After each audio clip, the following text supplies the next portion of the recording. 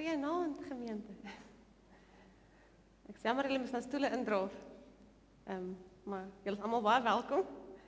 Ek bly julle die koue getrotseer want dit is een ding om koud te kry, maar dit is 'n ander ding om stil te sit en koud te kry.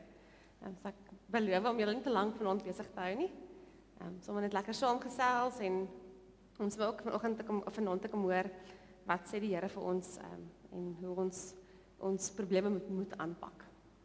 Wat die afkondigings aanbetref, ehm um, hierdie week is daar soos die gewoonte nou is groepsbyksbesoek. Ehm um, môre 7 uur by die kerk. En um, julle sal sien op die afkondigings watter wyke, maar julle sal ook 'n SMS gekry het indien dit julle beurt is. Ehm um, die NS NHSV is afgestel, ons volwasse kategese amikus en ook vir Oindiene Saterdag. Ehm um, hierdie week Dan as dit kom by die diensgroep fisiek is, daar's nog 'n hele paar, dan die Annie Minnar, dan die Emily Simon se is daar nou by die huis. Dan die Isabel Kutse het 'n lensvervanging gehad, dit gaan haar beter. Ehm um, om Jessie Kokemoer, ehm um, Harry Meyer en dan die Lucy Botha. Dan ehm um, dink ons ook in 'n besonder aan die van der Walt gesin. Ehm um, wat tragies hierdie week moes afskeid neem van Troan. Ehm um, ek dink sy begrafnis was môre hier vanuit die gemeente. Ehm, um, ek kyk die burgbazaar is amper aan die gang. Julle kan ook julle handjies opsteek daar vir as julle iets wil kom doen of eh, 'n uh, talent het om aan te bied. Ehm um, ons het an, altyd hande nodig wat dit aanbetref. Dan ehm um, is nou nie op die afkondigings nie, maar net vir julle kennisname of dan uh, meer soos 'n uitnodiging. Volgende naweek Sondag is die diakense feesviering van die 50 jaar feesviering. So wat hulle gaan doen is hulle gaan hierdie jaar ehm um, Louis Trigard hy se verjaardag nooi na die erediens toe spesifiek. En dan gaan ons soos 'n 'n muntlegging doen buitekant op 'n 50 maar in plaas van geld gaan ons ehm um, nie bederfbare sweeties sit of sweeties wat dan so 'n bietjie langer hou as as ehm um, 'n week. Ehm um, en dan ook eh uh, toiletware.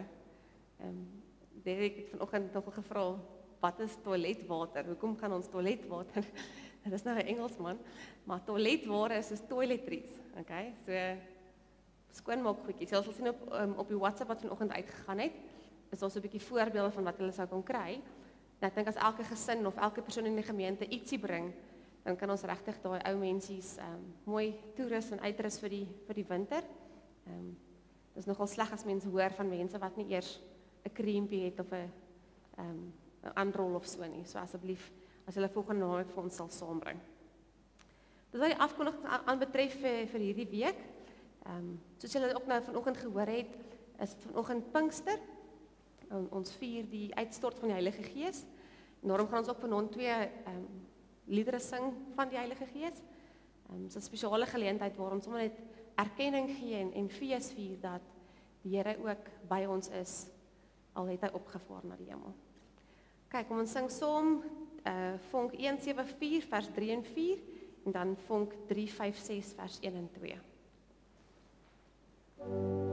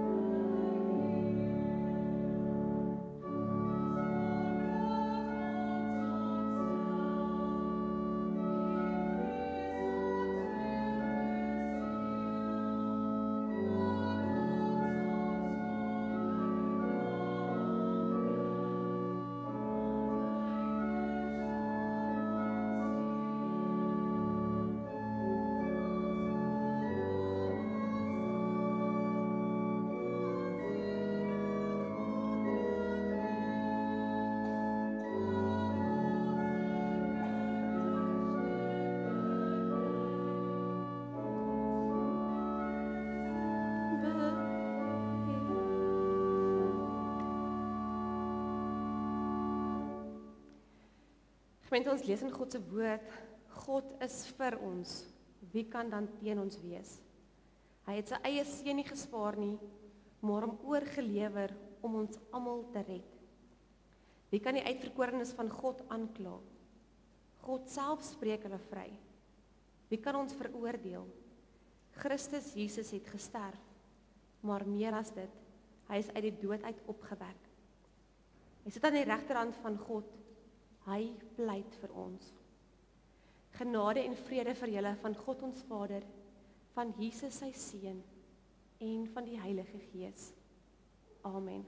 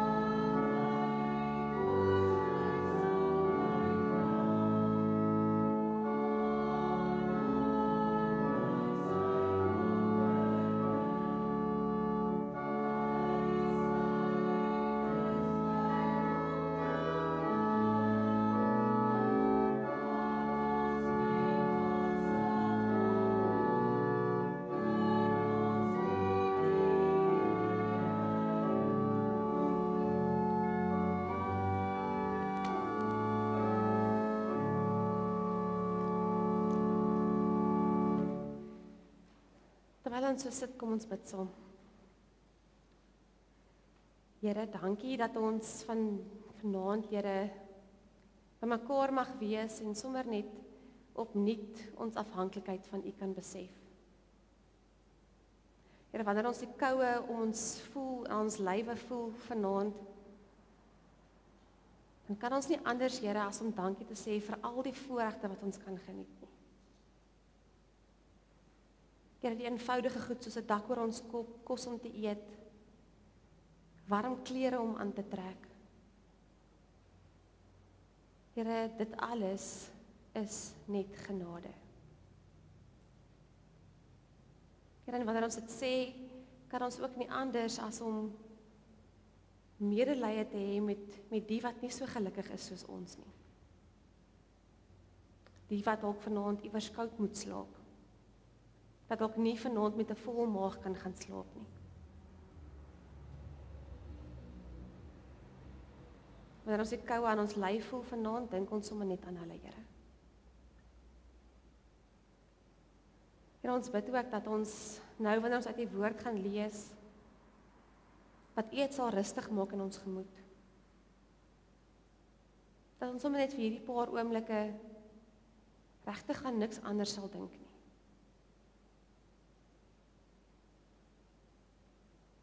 Here ons bid ook vir ons gemeente. Almal wat beproef word, almal wat op 'n manier siek is, almal wat eensaam is en ook Here iemand wat tragies aan die dood moes afgestaan word. Here, dankie dat U vir ons lief is. Dankie dat ons vandag sommer weer opnuut kan vier dat U ook gekies het om altyd by ons te te, te wees. Here nie daar ver nie binne ons. Dankie Here dat U die gawe van die Heilige Gees vir elkeen van ons gegee het. In Jesus se naam bid ons dit. Amen. Maar gemeente, ons almal was al op 'n keer iewers aan die ontvangkant van ongeregtigheid. van boelie gedrag of slagoffer wees van 'n toksiese omgewing of 'n toksiese verhouding. En dan kom ons nogal op 'n plek waar mens moeg is om die vloerlap te wees. Moeg is om altyd die minste te wees. Moeg is om altyd agteroor te moet buig sodat ander mense net kan gelukkig wees. En realisties weet ons dat dit nie God se groot droom is vir sy kinders nie. Oor as ouers droom ons nie van die dag dat ons kinders misbruik word en as vloerlappe gebruik word nie. So vanaand wil ek bietjie met julle saamgesels oor hoe staan mens op vir jouself? Of hoe wil God hê moet jy opstaan vir jouself? Maar die maklikste plek om seker te begin is om te sê wat wil God nie hê moet ons doen nie.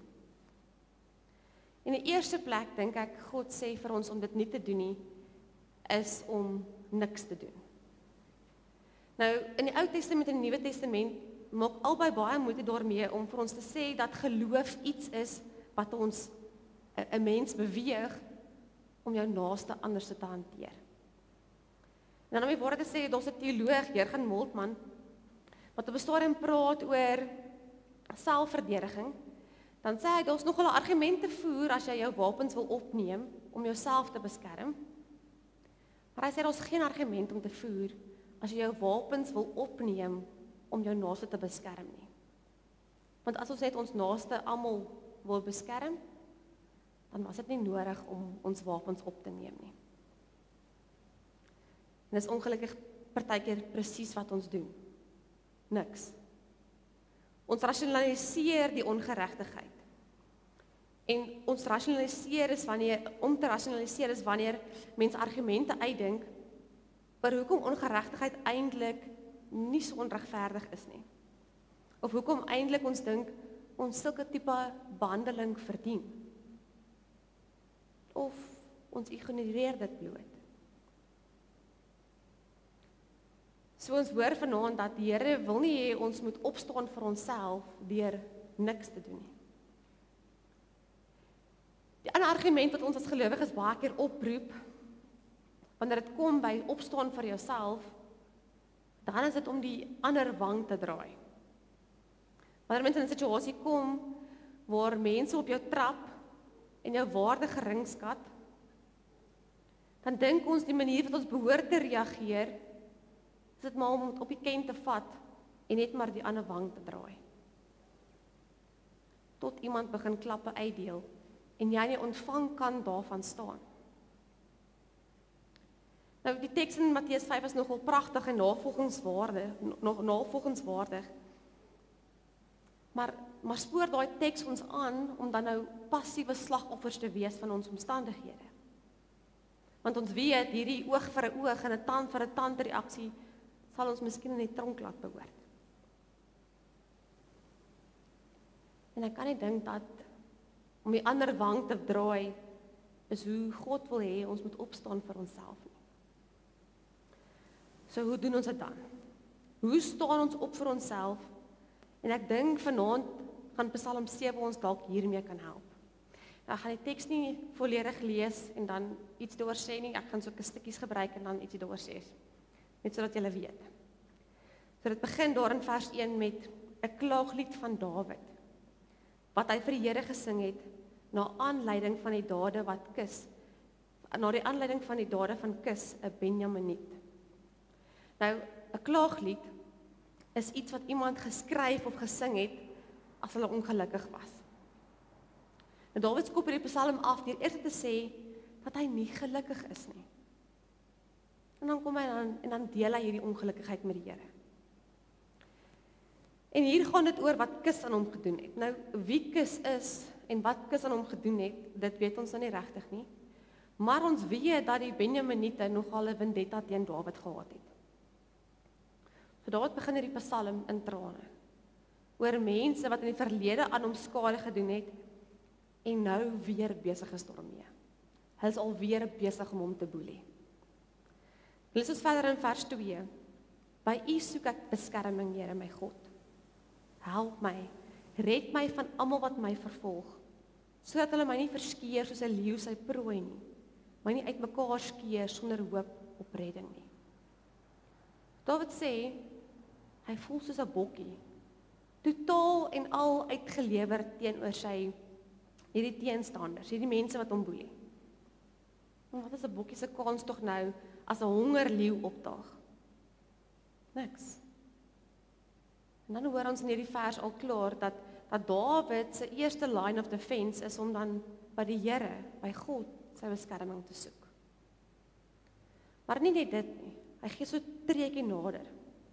In vers 4 staan daar: As ek iets verkeerds gedoen het, Here my God, as daar onreg aan my hande kleef, as ek 'n vriend van my kwaad aangedoen het, as ek 'n teestander van my sommer goedsmoed skaal gestroop het, mag die vyand my dan agtervolg en inhaal, my in die grond intrap, my tot in die stof in verneder. So hier in vers 5, 4 en 5 is Dawid nie besig om te sê dat hy nog letterlik nog nooit vriende of vyande iets aangedoen het nie. Want ons weet uit ander gedeeltes in die Bybel dat Dawid maar 'n mens was wat foute gemaak het, soos ek en jy. Dawid is nie besig om hier te sê hy is onskuldig nie. Wat Dawid hier besig is om te sê is dat hy niks gedoen het om dit regverdig waardeur hy nou gaan nie. Maar hier begin hy en hy tree nog nader en hy sê hy beroep homself op God se regverdigheid. Hy voel uitgelewer. En God is sy enigste verdediging. Dan is dit interessant hoe hy die Here se reaksie hierop beskryf in vers 7 en 8. Kom tog Here in u toren. Tree op teen die ver, verwoede aanslag van my teestanders. Kom my te hulp. U wat bepaal het dat reg sal geskied. Laat al die volke rondom u kom staan. Neem hoog bo hulle u plek in op die regterstoel. Toren. Dis asof die Here die woede dra van ongeregtigheid.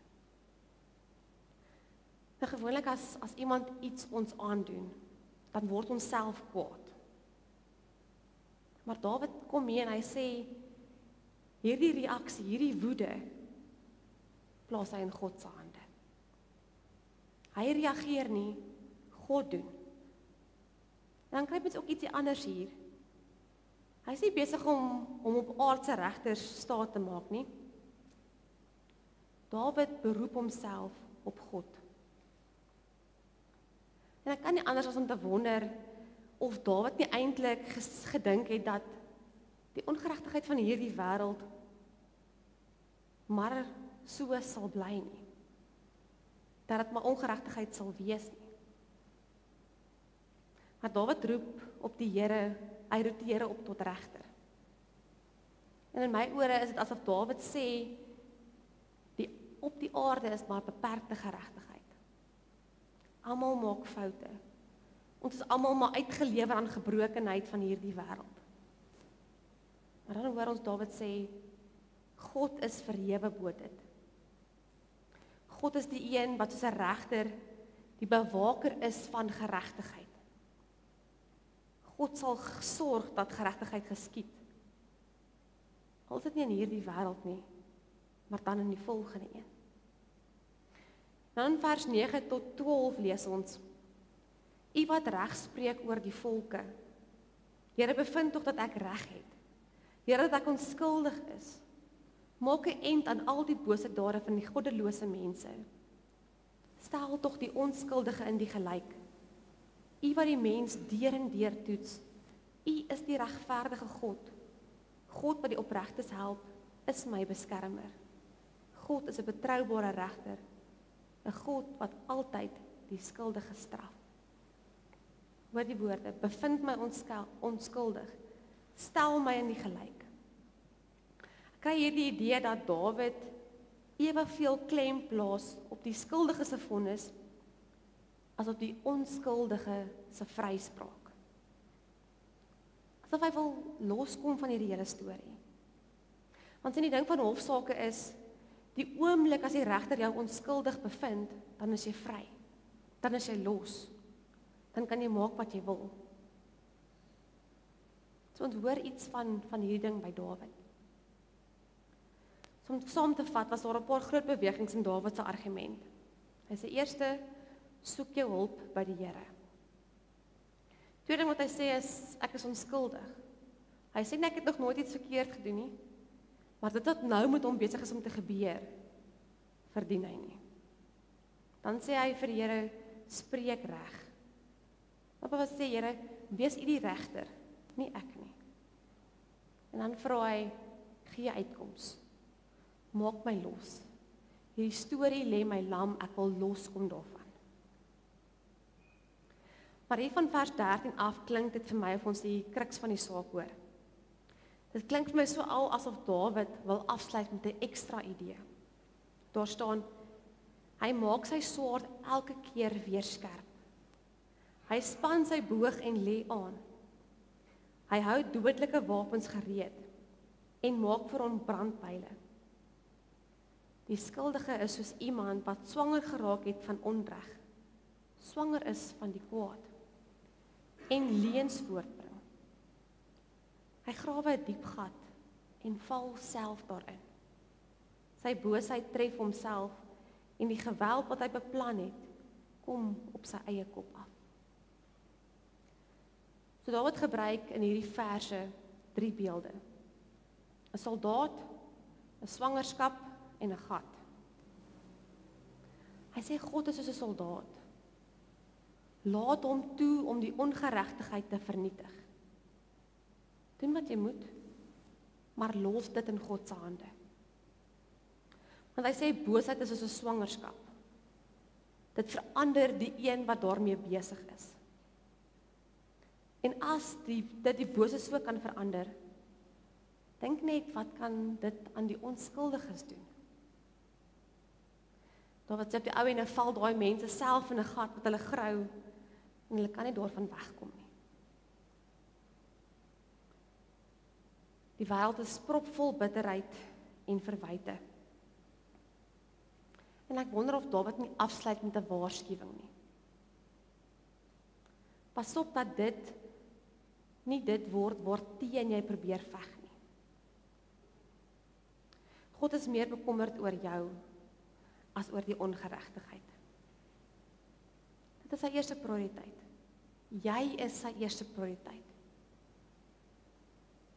En hierdie besef dat dit vir dat Dawid hoor dat dit oor hom gaan en nie noodwendig oor die ongeregtigheid nie. Maak dit Dawid hierdie Psalm, hierdie klaaglied, hierdie Psalm wat hy begin sing het in trane afsluit met 'n lofprysing. In vers 18 ek wil die Here prys omdat hy die reg laat geskied. Die naam van die Here, die Allerhoogste, wil ek besing. En vanaand wil ek jou uitnooi om die ongeregtigheid waaraan jy blootgestel word anders te benader. Doen wat jy moet. Staan op vir jouself, ken jou grense. Ken jou waarde. Hanteer mense altyd in liefde. Maar moenie toelaat dat dit wat ander aan jou doen jou siel steel nie. Laat toe dat God die soldaat wees. Want om hierdie seer persoonlik aan te trek, dis 'n swangerskap wat uitloop in bitterheid waarvan 'n mens nie kan wegkom nie. Ek meen dit wil God nie hê nie want jy is meer werd as dit. So hoe staan mens op vir menself? Want ons het by Dawid gehoor dat ons eers as hierdie goed in sy hande moet los. Ons gaan gaan gee vir God. En dan wil God ons uitnooi om nie toe te laat dat dit ons verander nie. Want ons is meer werd as dit. Amen. Ons bietjie by hulle hoor. Hoe staan julle op vir julleself? Nou, klein crowdie, so ek sal nie maar miskien wil iemand bietjie sê, hoe staan jy op vir jouself?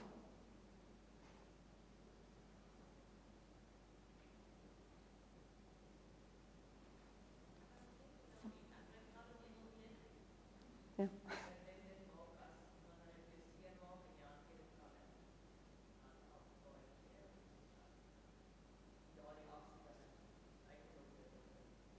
OK. So, bly kalm. En dan hoe retaliate jy as ek dit so kan stel? OK. Dit is nogal moeilik. Ehm, um, want sodra ons getrigger word en ons is kwaad of ons het seer gekry, dan wil ons emosioneel reageer. OK. Maak sin. Maar nie jy?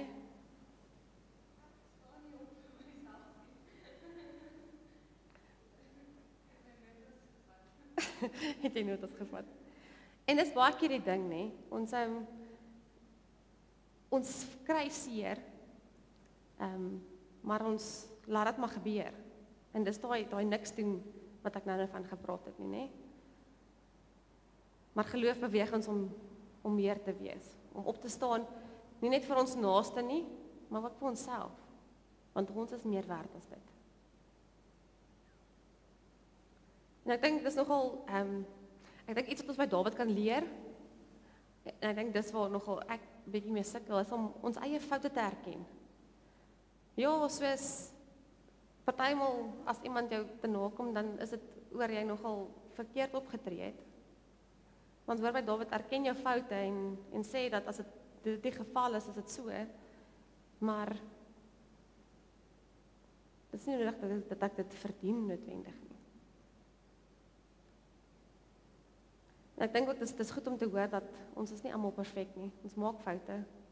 Ons pleeg dalk ongeregtigheid teenoor iemand anders.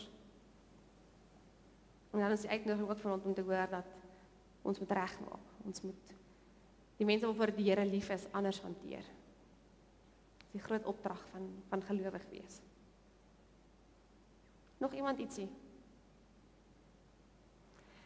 Kom ons sluit af as 'n met 'n gebed en wegsendingslied Gesang 573 vers 1 en 2.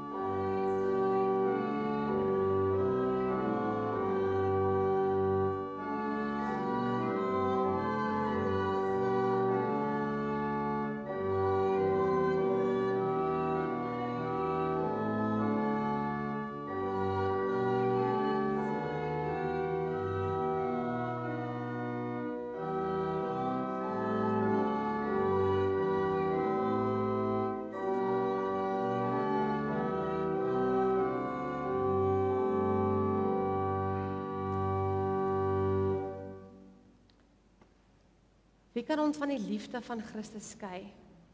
Lyding of benoudheid of vervolging, honger of naaktheid, gevaar of swaard. Hiervan ons ek oortuig geen dood of lewe of engele of magte of teenswoordige of toekomstige dinge of kragte of hoogte of diepte of enigiets anders in die skepping kan ons van die liefde van God skei nie. Die liefde wat daar is in Jesus Christus ons Here. Dit sê ek vir julle sodat julle vrede kan vind in my. In die wêreld sal julle dit moeilik hê. Maar hou moed. Ek het die wêreld klaar oorwin. Amen.